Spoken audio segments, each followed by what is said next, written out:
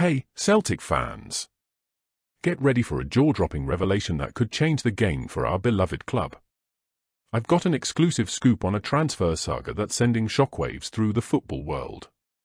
But before we dive in, if you're new here, hit that subscribe button, turn on notifications, and share this video with fellow fans.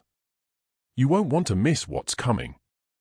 In the football transfer arena, the stakes are high, and the latest buzz surrounds Icelandic international goalkeeper, Hakon Rafn Valdimarsson.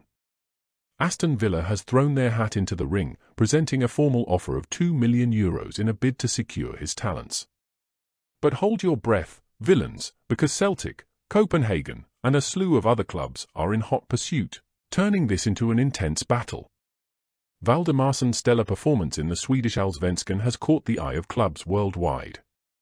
With just 22 goals conceded in 29 matches and an impressive 14 clean sheets, during the 2022-23 season, he's emerged as a standout player. The football world is on edge, anticipating a groundbreaking move that could reshape the course of the upcoming season. The suspense thickens as Fabrizio Romano drops the bombshell about Villa's 2 million euro bid, while Copenhagen puts forward a slightly lower offer of 1.7 million euros. The Celtic FC interest is still looming in the shadows, keeping fans on the edge of their seats. But remember, folks, this isn't a done deal. Romano warns that other clubs are circling, adding an extra layer of uncertainty to the story. Before we unveil the climax, make sure you've subscribed and hit that notification bell.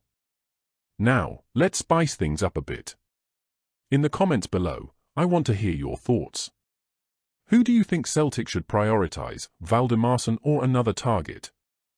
Share your insights, and let's make our voices heard.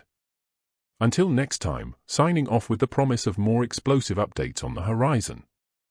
Hail Hakon, hail Celtic!